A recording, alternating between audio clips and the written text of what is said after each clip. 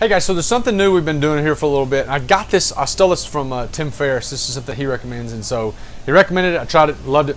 Uh, so there's this app or this website called Headspace, and honestly, the, the whole meditation thing is a little bit different for me. But man, I'm gonna say, say this: I did the the introductory part of Headspace. It is incredible, so good, so cool.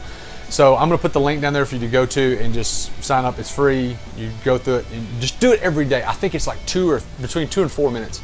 Unbelievable what it does. It, it really does. It just clears your mind if you can just listen and do what it says. Um, and with so much going on, people, whether they're busy or not, they think they're busy, and so they got so many things rolling in their mind because we're we've gotten to be a constant, instant gratification um, society. Man, this thing is really really good. Now, obviously, there's more levels that you can go to and more advanced for longer times and all that stuff. But let me say this: I would recommend this for something to put in your daily routine. It's three or four minutes long. They've got them up to a long time. They've got them, you know, that three to five minute range. But everybody's got that much time. So it's a discipline that if you did it, you would not be sorry. So go to the link in the in the video. And man, it's really, really good. I hope you enjoy it. Uh, but uh, if you got any questions, uh, please email me, thomas at mealfit.co. Again, thomas at mealfit.co or also put a comment down there. Let me know what you do, if you do any kind of meditation, what you do and how you do it. So thank you so much, guys. Look forward to serving you.